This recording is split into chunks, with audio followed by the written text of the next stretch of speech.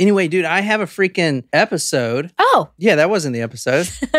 well, you said you weren't doing an episode, but I wasn't sure. No, Okay. I got a freaking crazy one. Oh All my right. god, dude. Okay, So let's do this. This isn't Richard Ramirez. We're going to finish that up on Saturday, but I've been wanting to do an episode for a while. Now, this episode is dedicated to one of our good friends and supporters who I don't think's on here just yet, but this is dedicated to her, and you'll see why here in a little bit. But oh my God, Are you not sharing her name yet? uh, no, it'll become very evident really quick. Okay.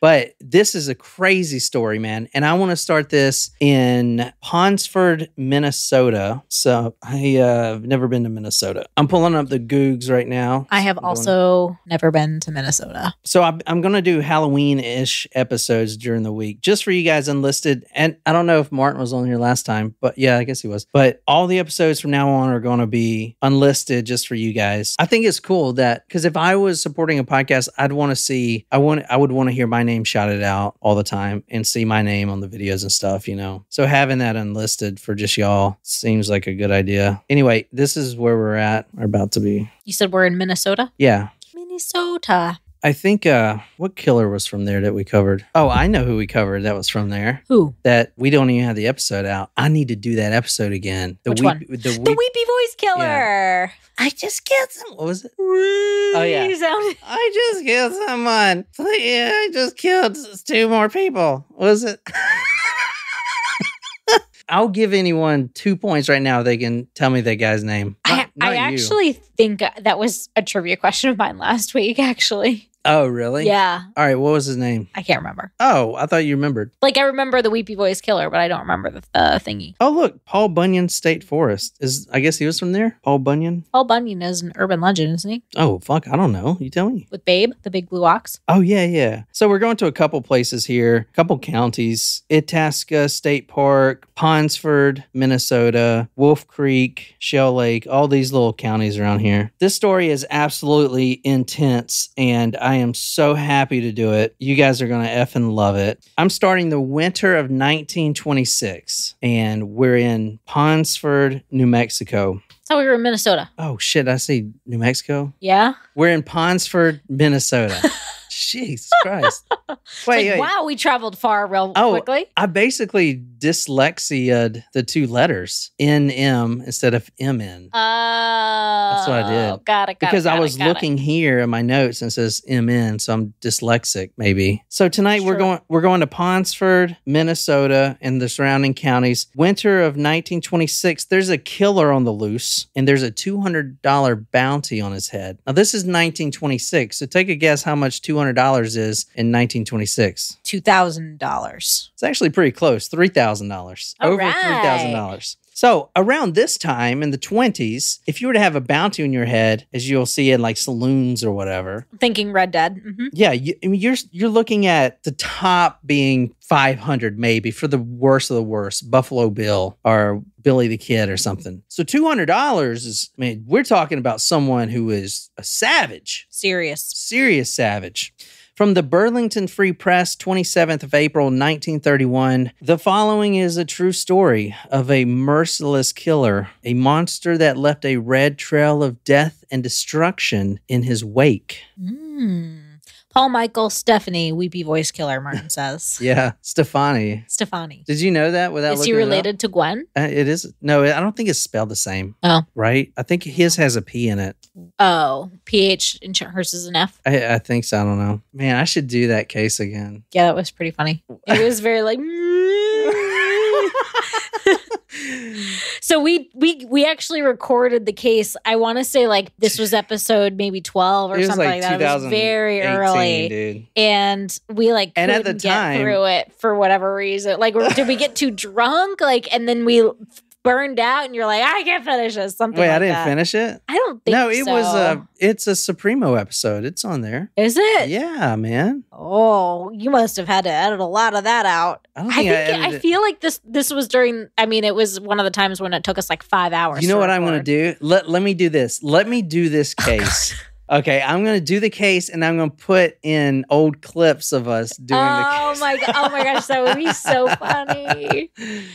There's a little farmstead in this little Minnesota county, the home of Miss Miss Amundsen, Amundsen, Miss Amundsen, and her husband Grover. Now, they're not a wealthy couple at all. She is a quote, a frail city bred girl, and on this night, she's actually home alone with the two kids because Grover actually works in the big city. And the dream for him and his wife is to own this little homestead with a farm attached. And he's about at the age of retiring anyway. So they went ahead and they made the purchase. And now they have themselves two children on this big farm. They have 40 sheep and lambs. They have one cow and one heifer. Doing pretty good. He hasn't quit his job yet, but he's he's going to after this night. So they were sleeping. It was wee early in the night, and all of a sudden, the kids jolt awake. There's this horrible sound outside where the farm animals are kept, all the lambs and all the sheep. It's horrible. It's, it's sc- screeching and squealing. Ah, there's agony. It sounds like it, it sounds like a mythical Goliath is just clawing these sheep and these lambs and these cows apart they're terrified, terrified at this point. So when as soon as the day breaks, she goes out there and sees what was left. Oh dear. Out of their livestock, every single animal they have was mauled to death. That included 40 sheep and lambs, two cows, and one heifer, all mutilated, torn apart, ripped apart. As I said, this is a true story. So I'm going to show you in a little bit, not a farm animal, but a doe who encountered whatever this is. And the wound is, it makes you think of a giant with this huge hand, and he has these Wolverine sharp claws, and he just right at the neck, and the neck is spliced open in like three or four different spaces, like one single blow. So imagine what all these farm animals looked like. Now, here's the thing whatever animals did this, they didn't consume any of the meat. Weird. Weird, Right? because humans are the only animals that kill for pleasure. Uh Martin says chupacabra. But would could that be a bear though? You know, s- still? yeah, yeah. I mean, it could be a bear, yeah. But no, a bear. Why not? Because why would he, why would a bear go in there, kill all those animals, and then not eat? Do they always eat their vic their prey? Yes. So humans are the only mammals that kill for satisfaction. Without for with not for sustenance. But what about if they felt th- a threat? So you're saying a bear felt threatened by 40 sheep? Like, what? Bah, maybe. I don't know. you know, I'm I am trying to come up with the logical possible answer here into what this may have been. well, I'll reiterate again. This is 100% true story, and historical documents back up everything I'm going to tell you. Well, you started out with there was a bounty on someone's head. So is this a person? A $200 bounty, so about $3,000 today, which then was a ton of money. And as I'll talk about, the state of Minnesota was so frightened and so pressured to get this killer apprehended that they started paying people just to go out and hunt for them. Not even if they if they bring them back because for years livestock and animals and even hunters were mauled and left dead by whatever this is or a chupacabra or whatever. What do you say? Chupacabra. Chupacabra. That's a good guess. I don't know what that is. Is that, is that like a Yeti or something? Or a um, Bigfoot, a Squatch? Um, I thought a, a chup. Maybe I'm thinking of something else. I, I thought it was like a lizard or something. Now, none of the meat was consumed. So at this point, okay, yeah, a pack of wolves. All right, the neighbors are called. Grover rushes home from the big city and consoles his wife and children who went through a night of pure hell, hearing those 40 sheep scream and all night long. Was a massacre. He rushes home to console his wife, and with him, sheriff, and the neighbors, they check out the crime scene. Now, it is snowing at this point, so there are tracks, but it's weird because. know, the, like the sheriff, he's a trapper. Grover, he grew up. His his father was a trapper. They know how to they know how to track animals. But I don't know. Is this weird to you guys? There's only tracks from one animal, a single wolf. It's only one set of tracks because they can tell where the wolf turns and everything. It's a everything. big effing wolf. Do you um you want to take a guess who I'm doing this story for? Never mind. Wolfie? Yeah. I like really had to think for a second. So neighbors are rallying around and trying to figure out what's going on. And about the same time, a, an Earl Ratcliffe, a young gentleman who, a strong young gentleman, he was working for the Duluth Log Company. He was a lumberjack and he was, he had just cut down a bunch of logs, fresh trees. They loaded them up on the cart and his job was then to drive them to the factory, or excuse me, to horse carry them to the factory. Because uh, I guess around these parts, they still use horses. I don't know. It's only the 20s. So so the horse, he put all the logs on this sled. The Mhm. horses would pull it. So this man Earl is carrying these logs back with his horses, and he sees in front of him the mauled carcass of a doe, and he doesn't see the predator around there. But the horses sense because they they can smell and they sense danger. Horses will neigh and throw you off. They sense danger, and then they see this monster. What Earl describes as almost supernatural. It was too big to be a wolf. It was I a feel- skinwalker. I feel like you're getting scared. this monster, this wolf, was in the middle of the road and he was not going to let them pass. And he started snarling. Oh, that was like a pig. How do you snarl?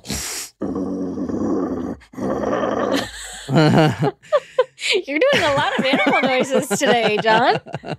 Wasn't that something we talked about trying to do an animal noise a day or an episode or something weird, like an impersonation? Oh, yeah. The horses, smelling the fresh blood and seeing this snarling, bristling, terrifying creature in their path, snorted and trembled in fear. When the, they were opposite the beast, he leapt. The horses bolted at the same time, and the collar of the horse struck the wolf midair, sending him rolling in a swirl of snow. So we know this is a wolf, but Earl's by himself, and that wolf seems like he wants to take a bite out of old Earl here. And the only other two animals at the scene were the two horses, and as you just read, they just they started bolting. The lifesaver here is one of the collars on the horse smacked this big old wolf and threw him tumbling. At that point, this snarling wolf jumps up, his fangs forward, and he is rushing at Earl Radcliffe, rushing at him. Ah! Straight for him. The horses are gone. Earl's toast. Earl gets thrown off balance. And on the ground, he sees from the sled that is now broken a wooden stake that had came off. Because you know, like the side it was broken, maybe the mm-hmm. the railing. It was broken. It was a, a stake. And he's on the ground. The wolf is about to jump on top of him. He grabs a stake. It's the only thing he has to defend himself. He swung it with all his might and he hit the beast. Wow. Mm. Lucky shot. Uh, the terrified horses fairly flew down the road with the wolf in full pursuit. As the beast drew alongside, Radcliffe hurled the heavy stake and struck the wolf in the side. This apparently discouraged him, for he gave up the chase.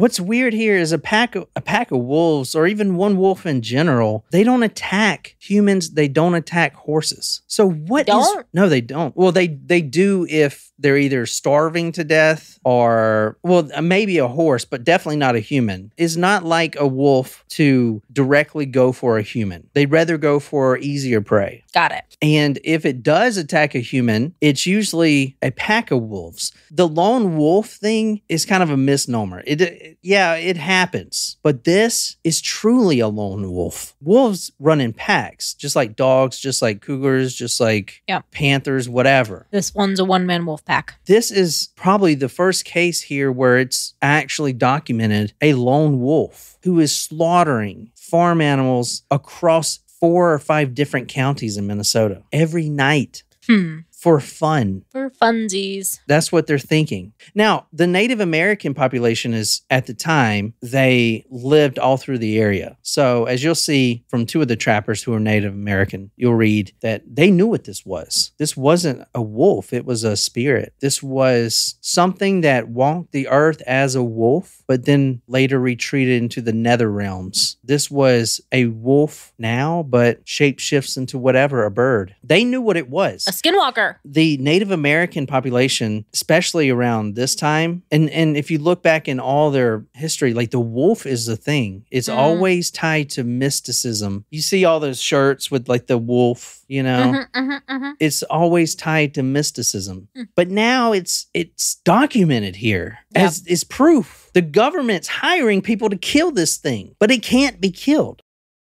Now, let me go back to the Grover family. They lost 40 of their best animals, Jesus. and a cow and a heifer. After this, Miss Grover, she fell into a terrible depression. For years, they had been saving up. Their dream was to own all this livestock. And not only that, but the, the PTSD of hearing this traumatic clawing and this the the fear and the the screaming. She couldn't live it. She couldn't she couldn't live. She started deteriorating mentally. And the townspeople also thought she may have been cursed. Mhm. But what I think it what it was is just her mind just shut down and she lost the will. Less than four months, she would be dead. Yep. No real cause of death, just grief. Neighbors around there say the disappointment of this heavy loss was too much for her. At any rate, she died less than four months afterwards. At this point, the husband drops his big city job. He is home with the wife until she passes, and all the townspeople start noticing a change in him. Mm. but more of a a obsessive change. He is hell bent on killing this thing. He knows it's a wolf, a spirit or not, whatever. It could be killed. Mhm. It is flesh, it is blood, it could be killed. There was saliva coming out of its mouth. It is it is something biological that can be slaughtered. And he is going to spend the rest of his life if need be chasing this wolf, living as a nomad, not even on his farmstead. He sends his two children back to Minneapolis to relatives nearby in Minneapolis and he ventures out. He lives in the in the woods there, day in, day out, setting trap, poison traps. Sometimes he'll take a lamb and have like a bear trap or a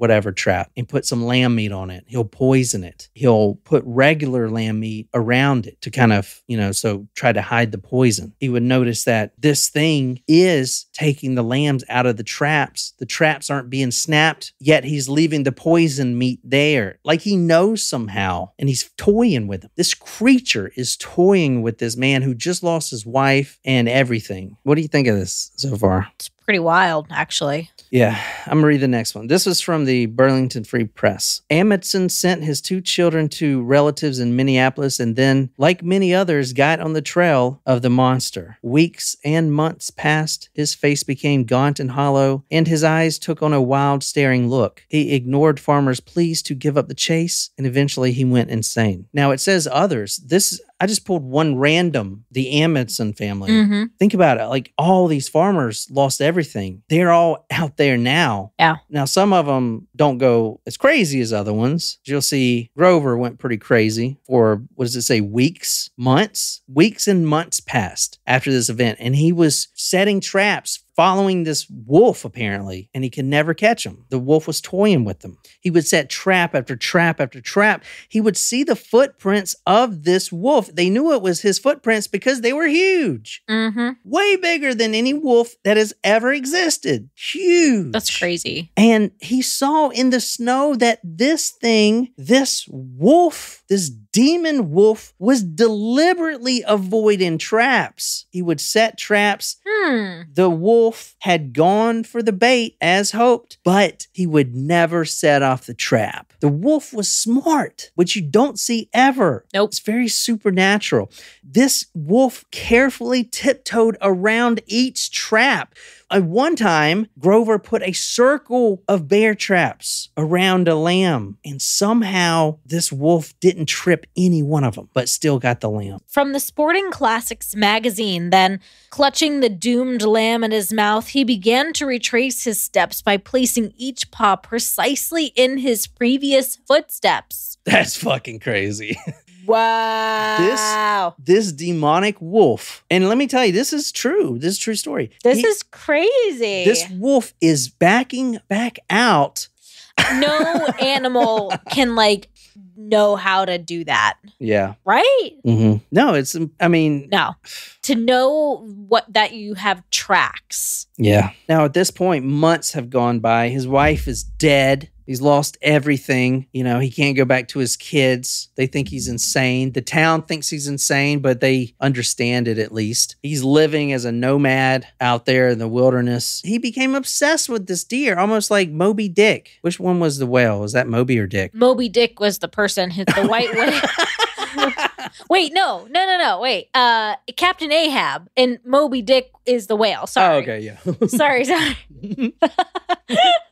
Captain Ahab. he he became a Never read it. Never read it either, so I don't know. Does he become insane? I, or I think of Jaws, right? Jaws was obviously pulled from Moby Dick, but Jaws by Peter Benchley, that's who wrote the book. Uh, Martin says animals can be very smart and aware of their environment, but you think they can like they would know? I mean, obviously they can smell tracks, like they know about track prints, but to be able to do that is pretty wild. I'm not saying that all the traps that he found were unclenched. I shouldn't say that. A lot of them had wolves in them, Just not this one. just not the wolf that was terrorizing the whole state. That's crazy. Because they knew what this wolf looked like because he had these big paws. The tracks, they're huge. This is a true story, man. This is crazy. this is 100% true. Is it anyone else not picturing? I cannot help but picture uh this the scene. Did you remember Beauty and the Beast, the movie, Yeah. the cartoon? Belle, like her dad was, you know, trying like he left town and the wolves attacked his little stagecoach or whatever. I mean, I, I don't. I, I saw the movie like once. I remember the candlestick was something. Yeah, Lumiere. And then the Be our guest. guest, be our guest. But uh, no, no, no, no. Oh, yeah. there you go. And then um, the one guy with the big muscles who would drink the eggs. Gaston, Gaston, that's right. yeah. Gaston's your favorite. Is he still your favorite character, or do you have to go with uh? Yeah, that's the only one I know, really. Well, I don't know if you were into Maui now. You know from Oh, Moana. all the Disney movies? yeah. Oh, Is he your um, favorite character of all the Disney movies? Um, uh, I that's a hard question. I don't know. No one fights like Gaston. No, no, no. Name some more Disney movies, and uh, Um, I mean the. I really like Jasmine. of course you do. Yeah, she's hot, and um, I don't know. I can't think of any other Disney. movies. Okay, so Beauty and the Beast, Aladdin, The Little Mermaid, because there's like you know Genie, you know there's other Yeah. characters. It doesn't have to be like the main main folk. Um, Well, I've never seen The Little Mermaid, so I don't know about that one. I haven't seen it. What the fuck? It's a classic. They actually just That's a- did a live, uh, like a- a, like a real, you know, live action one, That's and I a want to see girl it. movie, though. I want to be where the people are. Oh my god, so good. I don't Uh, know. and uh Mulan. I have never seen that. Oh my gosh, Mulan's so great. Eddie that- Murphy's in it. it's the one with the monster, the green monster. and the No. don- Eddie Murphy's the donkey or something. No, that's Shrek, Oh. not Disney. That's not Disney. No. What is that? Uh, Pixar. Universal Oh. technically owns it now. I don't know. What's y'all's favorite character out there? Anyway, yeah, this is a true story, man. So now months go by, and Grover is about at the end of his last wit here. Mm-hmm. He decides to do one more thing, one more thing to try to trick this demonic wolf. What he's going to do, he's going to take a trap, just like always, and put all the other traps, just like always. So the wolf will be like, oh, okay, yeah, let me step here, step here, let me back up in my same paw prints. But this time he's going to bury one of the traps in the snow. Oh shit! Pretty smart, eh? He's going to bury one of the traps in the snow. This Wow. bear trap. We just played Resident Evil 4 where you step in all these bear traps. So, do you think it works? Mm-hmm. I'm gonna assume yeah, it worked. So, I'm pretty sure I'm the only one who's ever covered the story. I mean, I think I can safely say that. Why do you think so?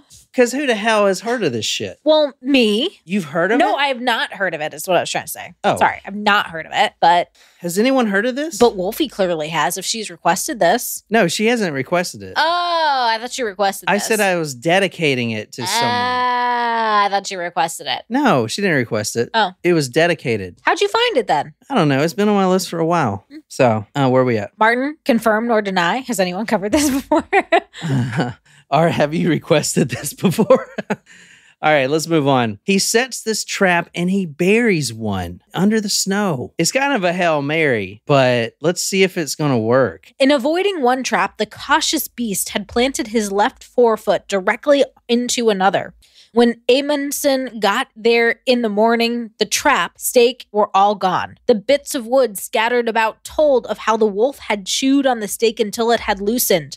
With the dragging trap and stake making a plain trail in the snow, the wolf headed north. So he did step in there. Now, here's the thing. And I'm reading this from Becker County history. This is the county where this is happening. It has an exhibit about this, this wolf. Quote, when the farmer followed the tracks leading away from the scene, he found what was left of his lamb and the missing trap with a wolf paw still caught in it. The wolf had chewed off his own paw to escape. Damn. From then on, old Three Legs could be recognized by the tracks he left behind. So, this is the story of old Three Legs, What? a real life monster wolf who went on a killing spree, especially after this. And now, all the farmers, when they go out and see the tracks, they're going to see two in the back and one in the front. wow. He's only got three paws. One paw in the front, two in the back. Old three legs. Huh? Yeah, old three legs. Let's talk about this wolf's background. Sure. okay. we talk about serial killers all the time. They usually have bad backgrounds, pretty traumatic backgrounds. What do you think this wolf went through? Um, he grew up on the wrong side of the tracks. His parents weren't very attentive to him. His mother, oh, three legs. possible head injury. Yeah.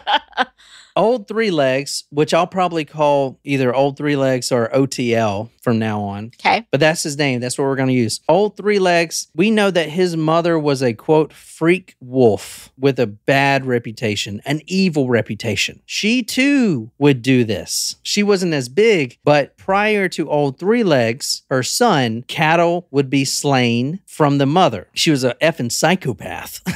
the mother, the freak wolf, her head and forepart was that of a giant timber wolf. However, she looked more like a hyena. Hmm. Her head and chest, like I said, was of a timber wolf, but her body was of a hyena. So she may have been mixed. Her butt was tattered, survived by a single hunter's bullet Oof. While the hind part and from the newspaper quote while the while her hind part dwindled to the size of a brush wolf or coyote How do they know it? This was his mother. well, i'm gonna tell you that's a good question wolf pups at the time were worth six dollars a piece now this is fucked up back in the day You could buy wolf pups. for hats and clothing that's what trappers are they would capture animals and i guess they still do that Isn't now. it amazing how like animal fur coats are so out of fashion? You know, like that was even. yeah that's a good thing It is. My gr- grandmother, mother, and all my aunts had like beaver coats. I don't know if it was just a status symbol, but that was like a thing in like the 80s, 90s. There's an artist rendition of Old Three Legs, or at least the mother. This is it. Oh, Scary. yeah. Wolf pups at the time were worth $6 a piece, which is about $150 in today's bounty. And there was a larger bounty placed on hyena wolves, which were a form of wolf. And that's what we think. I have never heard of a hyena wolf before. Yeah, me neither. But apparently, all Three Legs, his mom was a hyena wolf, and they fetched a higher bounty. Here's how we know his humble beginnings because we know exactly where he came from. We know who his sisters and his brothers were. We know who the whole litter was. We know who the mother was. And the reason we do that is because of a trapper who was waiting to get some wolf pups because they go for $6 a piece. He was about a mile away and he spotted a den. And in this den, the mother wolf had just birthed these wolves, old three legs being the, the runt of the litter. The young, the newest born out of eight. Dynamite Bill Foster was his name. Bill Dynamite Foster from Ponsford, Minnesota. He What a name. he is watching this den of wolves, waiting for the perfect opportunity for those pups to come out, and he was going to trap those pups. All seven or eight of them. He was going to trap them. However, when he runs back into town, he has a story to tell. And no one believed him at the time. But after all this happened, they sure as hell believed him. Bill Dynamite Foster was watching this den day in, day out, waiting for the perfect perfect opportunity almost a mile away. Can you read from the Burlington Free Press? From the Burlington Free Press, he was waiting for the pups to be born so that he could realize an additional bounty of $6 apiece, besides the rich reward hung up for the mother's head. The next thing you're going to read is by an A.M. Thompson. He is a reporter for Field and Sport magazine. And then an unbelievable thing happened. Thompson wrote. The mother killed seven of the pups and, with the eighth tottering unsteadily after her, trotted off into the woods and never approached the den again. But again, how do we still know that the tri- tripod is that's the same one? The mother wolf just slaughtered seven of her babies and tried to go after the runt, but something happened and she didn't. So now this runt. This one's supposed to be the runt? Yeah, the runt. Old Three Legs now, as the runt, just watched all of his sisters and brothers get slaughtered by the own mother. And then he trots off following the mother. That's traumatic for old Three Legs. That's very traumatic. This is a traumatic childhood. He just watched all his brothers and sisters get eaten. Mhm. What, what, you know, is that not crazy? The surviving pup became the legend that we know as Old Three Legs. The mother spared him and for the next two years straight taught him how to hunt and slaughter. They knew this because of the mother slaughtering, and then they would see these baby paw prints get bigger and bigger and bigger, and all of a sudden envelop the mother's paw prints. Two years have gone by, and now old Three Legs is huge. For the last two years, he was taught by his psychopath mother on how to go and slaughter farm animals. It's amazing how like the pattern of the wolf is so similar to what we see in how like what makes a killer, you know what I mean? In upbringing and environmental factors. Yeah, that's true. Isn't that nuts? I mean, that's crazy. Yeah. Because they're not even eating the meat. They're eating deer and stuff, but they're going and slaughtering all this livestock and leaving it. They're killing for fun. The mother is teaching the son how to do this. It's like the first time this ever happened. The wolf became massive. And historians think because the wolf is getting the mother's milk Oh, all to himself. all to himself. He has no brothers, no sisters. Oh. He's getting oh. pumped up with all this hormone milk by the mother, who is a complete psychopath and is killing for fun, and he is just feasting. Trappers and woodsmen who recognized the familiar tracks of the mother reported the amazing growth of the pup by the size of his footprints. Nursed with a bountiful supply of milk, he soon grew into a wolf of giant size. Like silent shadows of death, A.M. Thompson writes, they would swoop down upon some un- unsuspecting barnyard and slaughter every living thing there for the sheer love of killing. The despairing shelters were helpless before the super cunning of the beast. For pure pleasure, they did this. The younger one became more vicious and more bolder, especially since seeing his siblings murdered. Near his two years of birth, Old Three Legs, which had four legs at the time, obviously, he did something unspeakable, horrid, even for him, even for his mother. A homesteader, Theodore Gleasing, found the ripped remains of the mother, the freak wolf, the mother, ripped to shreds by her own son and left there on a log, almost like she was crucified. He went and killed his own mother. Hanging from a branch, suspended, he made an example for everyone to see. Quote, cruelly torn and ravaged by the fangs of her own offspring. The viciousness she had implanted in his heart proved her undoing. Some Ed Kemper shit. Jesus Christ.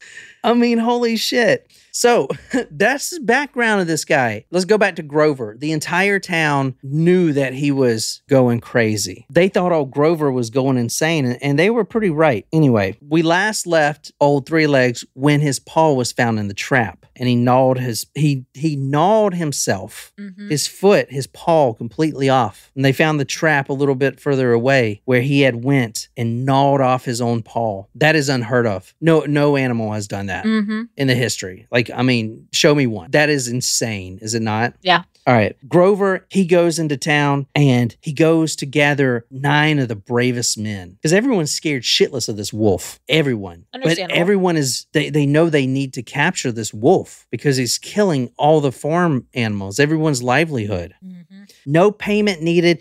They just needed to kill this wolf. They needed to capture this wolf and they needed to capture old three legs. And he needed the bravest men to do it. He said, I got him in a trap and I need the bravest men. The dusty square town was bustling with unusual evening chatter when Grover Amundsen rode in, his horse p- panting and foam speckled. He dismounted quickly, his intense gaze scanning the area for able men. Men of Ponsford, Wolf Lake, Tamarack, and the surrounding area. He bellowed, drawing attention of everyone present. I need the bravest among you. The wolf, the three legged devil, is injured, but he ain't down. A burly blacksmith, wiping sweat from his brow, stepped forward. Grover, what's happened? Why the rush? Grover took a moment to catch his breath before he replied. He's in a trap. I managed to snare the beast, but that beast is strong. He's freed himself and is on the move again. How do you know this? Questioned a lanky man with a skeptical look. The trap's been sprung, and he chewed it from its stake. There's a trail of blood leading northward. Grover explained,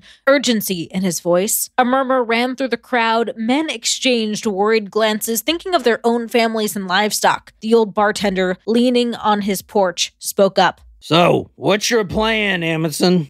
At sundown, we ride. With enough hounds and men, we can corner him and finish this once and for all. One by one, men started stepping forward, ready to join the cause. A young lad, no more than 17, hesitated for a moment and then said, My pa's gone, but I can use his rifle. We've lost enough to this beast already. Grover nodded, placing a reassuring hand on the boy's shoulder. Thank you, lad. We'll need every man we can get. A grizzled hunter, his face lined with years of tracking and battling wildlife, chimed in. Well, then, gather your hounds. Ensure your guns are loaded and your knives are sharp. We leave when the sun touches the horizon. As the townsfolk dispersed to prepare, Grover whispered a silent prayer, hoping that his hunt would end the reign of the three legged terror. Damn! Some dialogue for I- us. is this a movie? no, but it, should, be. Oh my god, it so should be. I know. That's what I'm saying, you, you don't need to change anything about that dialogue. Damn, I was like, wow, I, give me some popcorn. This is great. Gather up your hounds. Nine burly men, six ferocious dogs were gathered. They were going to ride at sundown, travel a little bit, and then set up camp. All that she's reading now is from uh, historic newspapers and the Beckersfield County where they have the exhibit. Oh, I want to see about the exhibit. Grover headed a posse of nine men and six ferocious dogs, hot on the trail of the wolf. They followed the trail until nightfall and put up with a farmer. At daybreak, they took up the chase and toward noon let the dogs loose. It was hoped that the dogs would hold the animal at bay until they could come up and kill him. Nine dogs, ferocious hounds. By late that afternoon, they began finding those dogs one by one, about one mile apart each in interval. All of those dogs, save two, were not only dead, but their throats were torn out. Their throats completely ripped open. None has been consumed. They were just dead. Can you read the next one? Where's Stella? Hmm. When they made camp at night, the remaining dogs came slinking back, whimpering and cowering in fear. Oh, Oh, stop it. Don't do it. Don't. Now the dogs are out. They can't go back there. What does this do to the men? It gives a foreboding. The men are now like, oh my God, this is the natives were right. This is some spirit that walks the earth. This is not this is not God's creation. This is a spirit from the nether realm. They believe that. And now all these hunters who cast doubt on all those beliefs are now starting to think, well shit, maybe there's some truth to all that. I mean, look what he just did to seven of our best dogs. On day 2, they left at 10 a.m. sharp, knowing that old Three Legs was wounded, still wounded from the, you know, the losing of his paw. He was wounded and he was weak. He probably hadn't eaten since he hadn't eat, eaten any of the dogs. They followed cautiously in his tracks, but found nothing for that day. From the Burlington Free Press, the third night was spent on the Cleamer farm. Early the next morning, they were greeted with the disheartening information that the wolf had killed and eaten a good portion of a calf during the night. They knew that, fortified with fresh food and freed of its impediment, the wolf was more than a match for them. All of the hunters, except Amundsen, dropped out of the chase. That's nuts. All besides the one who is now obsessed and insane. With catching this wolf. Every one of them dropped out for fear. Damn. Grover Amundsen, over the next six weeks, spent tracking down this wolf. His face grew gaunt and wild, and he appeared more and more like a man obsessed. This is from A.M. Thompson. There could only be one end to such madness, Thompson wrote. Old Oscar Nesbitt, a trapper, found Amundsen's body frozen stiff. He claimed that around the body he had found the tracks of the three legged destroyer, which had come back to sniff, probably sneer, at this poor immortal who sought so long to destroy him. Wow. Is this not insane? This is a movie. wow.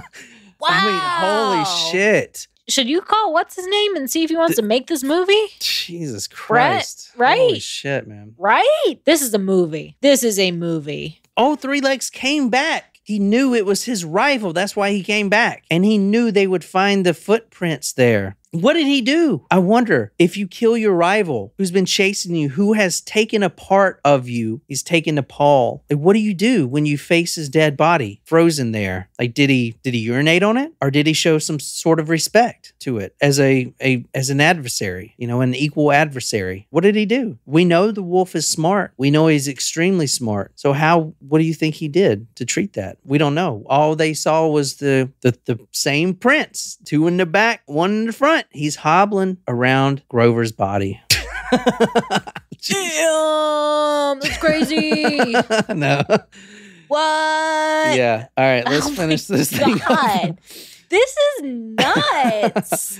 How the F did you find this story? I don't know. Oh my God. It's a true This is one of story, my- man. This is like one of my favorites that we've covered in a while, maybe. It's a true story. I know. The state of Minnesota was so up in arms. They were paying people to go hunt. They hired some of the trap the best trappers from the Midwest to come to the state. None of them had success, as you'll see.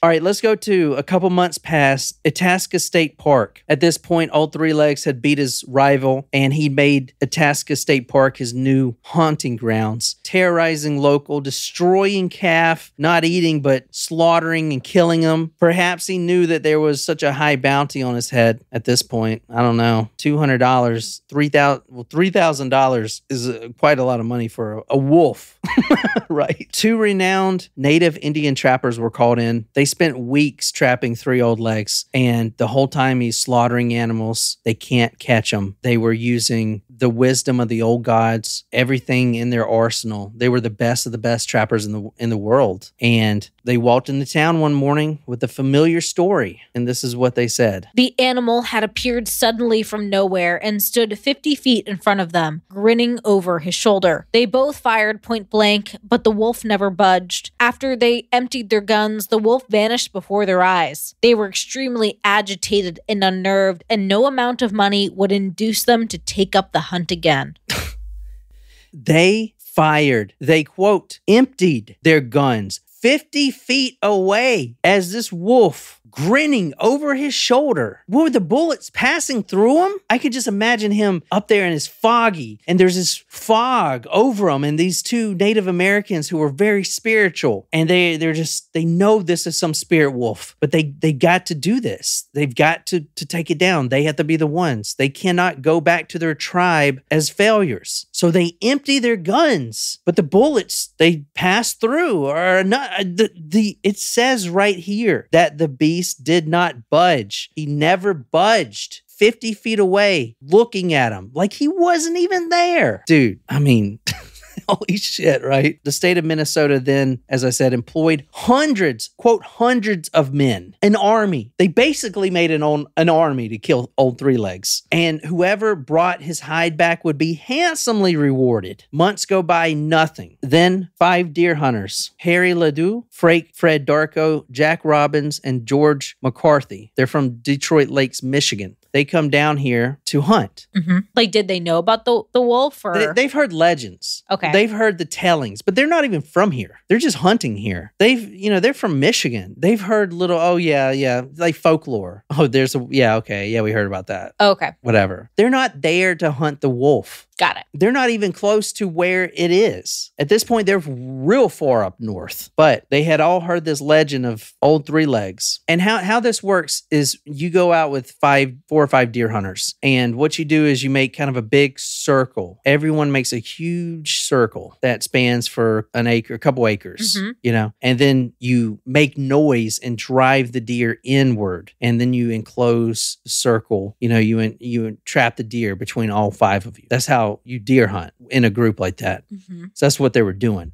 They weren't out looking for old three legs at all. But McCarthy was the first to spot a doe, and it was going to be the first kill of the season for him. He was a very good shot. All of these guys were expert hunters. They're coming from another state to hunt. Like, I mean, you don't just do that if you're a novice. Mhm. You know what I'm saying? McCarthy spots this doe. He aims right at the dead center of the doe. And as he's looking through his scope and he is centered right on this doe's heart, he sees something in his peripheral, something that's kind of not supposed to be there, a figure. He kind of glances at it and then he sees it. He sees a three legged wolf staring at him. So he knew what it was, exactly what it was. He sees this figure on the ridge line. It was old three legs standing tall and it was waiting for something, just sitting there. The sight of that monster on the ridgeline, old three legs, spooked McCarthy and he pulled the shot. He basically missed, right? He jerked it. It missed the doe. He- and he's not one to miss. At this point, the doe goes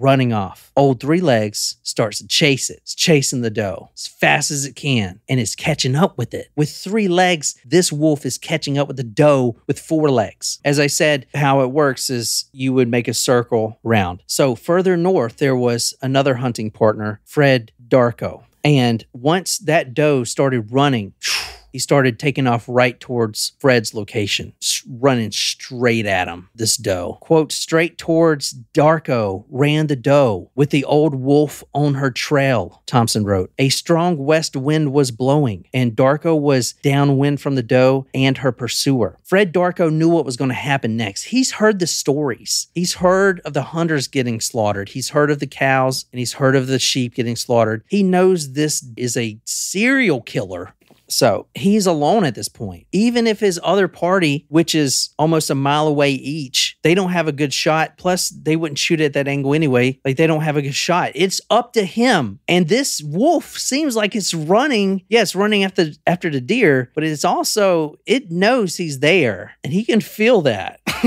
An immense fear washes over Fred, and he raised his rifle, not at the doe, but at old three legs. And he knew he had one shot in that rifle. He had other rounds, but he would He have would- to reload. Yeah, And yep. by the time he reloaded, it would be too late. Also, another thing was strange. He took aim at old three legs and he noticed shit, the deer had veered off the path, yet old three legs is still running towards me. shit, right? Holy shit. Gulp. Uh, shit, can you imagine? Oh, shit. Oh my god, this is crazy. I know. This is all really fucking. Oh, it's crazy. Oh my god, you have got to call Brett after this and be like, "I have got your next movie, man." This could be like the uh, cocaine bear type of thing. I, I was actually thinking this kind of reminds me of like I didn't see the movie, but I read the book, The Revenant. oh, I haven't seen that. We should watch it. All right. I mean, I think that's like kind of horror. I don't know what it is. It's got Leonardo in it, right? Yeah, yeah, yeah, It's like the bear. Yeah, yeah, yeah. Yeah. Oh my god, yeah. Let's watch it later. All right. So Fred, he at this point, all three legs, the deer is gone. He's veered off. All three legs is running at Fred, and Fred has one bullet in that rifle, one chance. And he's heard all these stories about people shooting at this beast and it not budging. His breath slowed, and he's just like. Oh, And this beast is just snarling, just running straight at him, 50 feet away now. And his breath slowed and time slowed down. He knew he had to hit this old three legs. He knew he had to hit this wolf. Then all of a sudden, he pulls back the trigger. Bang! crack, bang. The rifle bullet exited the barrel. And within milliseconds, the beast reacted. He knew that he was you can't you can't react fast enough if you're getting shot at to move. That's that matrix shit, that's not possible. But somehow he did. Fred was aiming directly for the heart, directly for the heart, and somehow this beast reacted and he twisted his body, and that bullet missed the heart, but it hit him right through the neck. Wow. Less than 50 feet away, the bullet intended for his heart tears through his neck and the beast falls down. So he starts to reload. Fred, he is shaking and pissing himself at this point. No shit. Yeah. Whoa. So he cautiously walks over there. Doesn't know if the it doesn't know if he's just being messed with. Doesn't know if this is some kind of trap. The wolf leapt high in the air and turned over and over in a swirl of snow. Fred pumped another bullet into the barrel and ran over to the dying wolf. He then aimed his barrel at the wolf's head and said, Hasta la vista, Wolfie. I'll, I'll put that last sentence. I was I feel like that actually didn't happen. but that does play well for the movie version. yeah. So Damn. this is the Damn. this is this is the kill. He is in the center. So, That's old three legs. wow. Look at all the others So that were is- slaughtered. He's the size of a deer. Look at that neck of this doe that that that the wolf has slaughtered prior. But he is like the same size as the deer. Yeah, he's huge. That's him. Look, he's still Oh, snarling. The way he's snarling kind of reminds me of Luna. The way she kind of like she had because she only has one eye. She does like a kind of weird, Yeah. weird thing with her mouth where she kind of goes like, "Arr." Ah. It looks like she's snarling, but she's not. That's just it's just a kind of ugly smile, ugly, adorable smile. Once Is that him stuffed? Yeah, once terror of the north. Old three legs.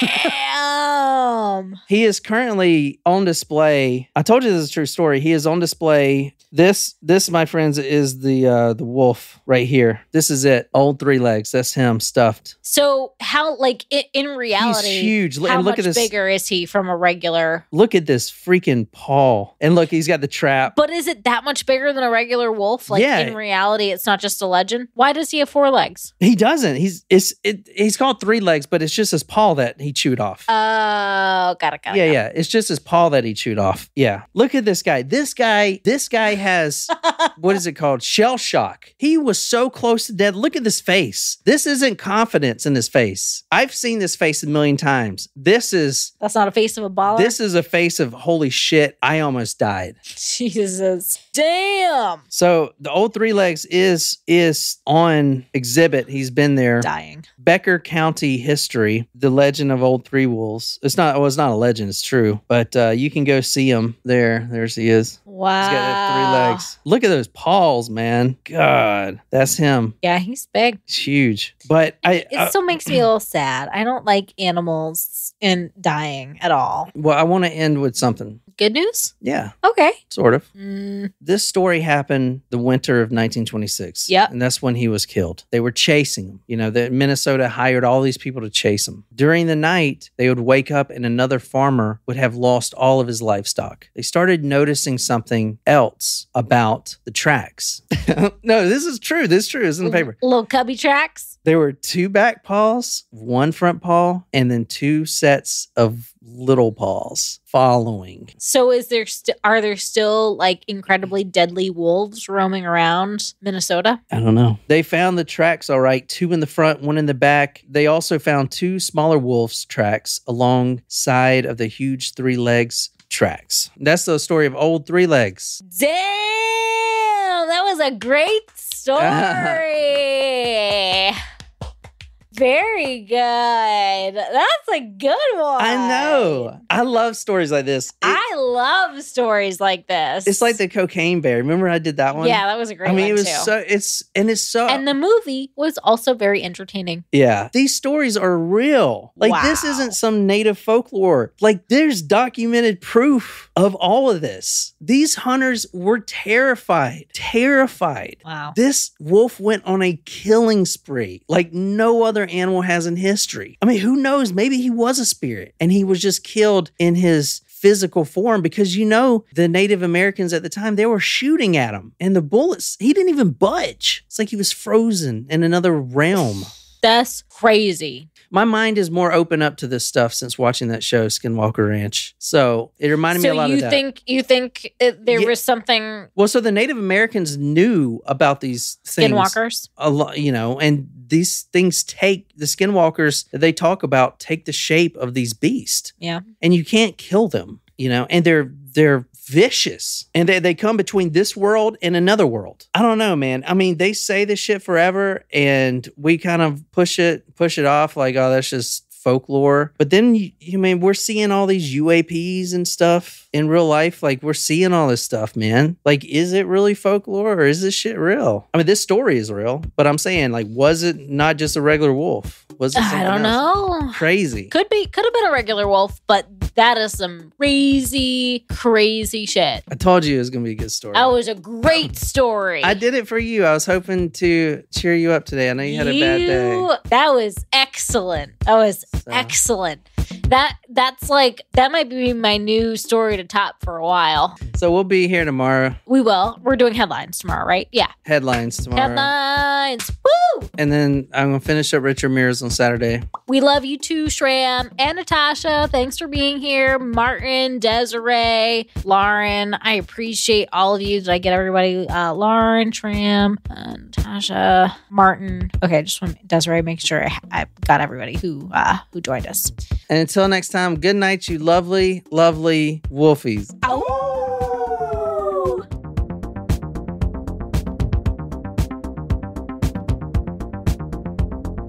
I kind of run this shit.